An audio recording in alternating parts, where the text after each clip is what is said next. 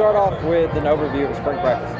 Well, I think we had a great spring. Uh, ended up today with uh, the impressive thing today was our fans. You know how many folks turned out. We're really not advertising a lot and had a good turnout. And a lot of folks wanted to come see what we look like in the spring of 16. And you know, but overall, timeline-wise, really pleased where our football team is. We've you know built some depth. We found some guys that can play for us this spring. And you know, you always you, you redshirt a guy and you see him on scout team all fall, and you think, okay, this guy's going to be able to play for us, but you don't know till you get out here and you know block tackle in the spring and work fundamentals, and then put them in a live situation today. And you know, we try to scrimmage a lot, at least once a week, and uh, put them in those situations to get experience and see how they're going to react. And I've seen a lot of guys that you know can play for us, and we built some depth, which is a good thing. Talk a little bit about what you saw today with it not being a usual J-Day game, more like a practice. Just talk a little bit about that. Yeah, I mean, we protected the guys. I know it's what, what you, you fans would really want to see, but I, I think they got to see kind of, you know, how we do things in a, in a controlled scrimmage situation, which, you know, protects our guys a little bit more. You know, we, we need to have any more injuries at this point in time. The worst thing in spring is having injuries and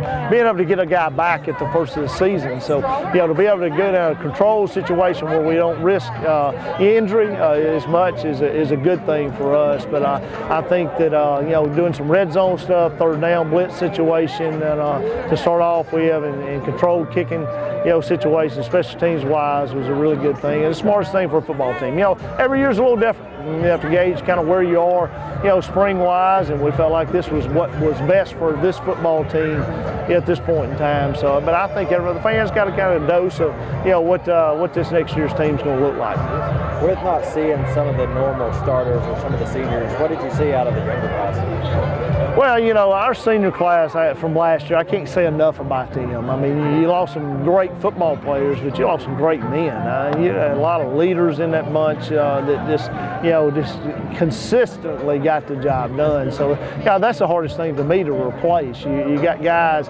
that are athletic enough to fill the shoes, but, you know, you got to fill those leadership roles, and, and that's kind of the glue that holds your football team together. So hopefully we'll continue to grow. I, have I've seen some of these guys grow a lot this spring and through this all season already, you know, with, the leadership ability. So uh, that's the thing we got to continue foster each and every day to get better at. Did a player or a position kind of stand out for you today? I mean, I think we've gotten better. I mean, uh, O-line wise, I think we, uh, you know, got a whole lot better this spring uh, with the guys we got returning, but, you know, finding some new guys as well. And, uh, you know, DB wise, I mean, I think you lose four out of five of the starters and you come into it and you say, okay, we're athletic back there, but we, we've got to, you know, get some experience there. I think those guys did a great job during spring.